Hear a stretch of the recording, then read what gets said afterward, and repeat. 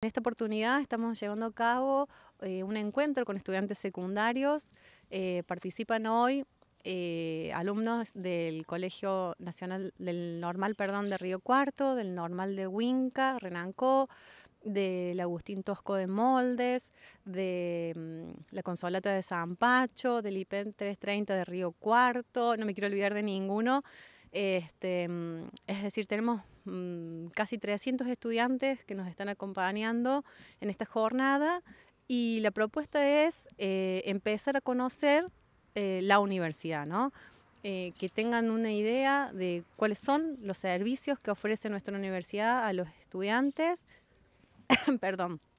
y empezar a tener un, un, contacto previo a las jornadas Universidad de Puertas Abiertas con las facultades y con las carreras que les puedan estar interesando. Por último, ¿cómo se está preparando la universidad para las próximas jornadas de Universidad de Puertas Abiertas? Bueno, ya no queda casi nada. 18 eh, y 19 de septiembre van a ser las jornadas Universidad de Puertas Abiertas. Em, como todos los años, es eh, una movilización importante para la Secretaría Académica y para la universidad toda, pero este año en particular también se está trabajando de manera coordinada con la Secretaría de Posgrado, así que bueno, esperamos que,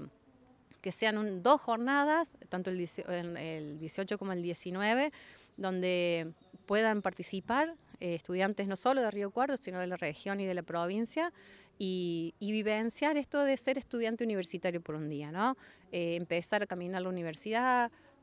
estar en las aulas y laboratorios que van a evitar una vez que, que elijan estudiar una carrera en nuestra universidad, si es que la eligen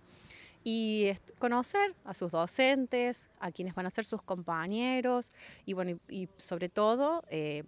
sacarse las dudas, profundizar la información sobre, sobre la carrera, el cursado, perfil profesional, campo ocupacional, todo lo que tenga que ver con la vida universitaria y la, y la carrera en sí.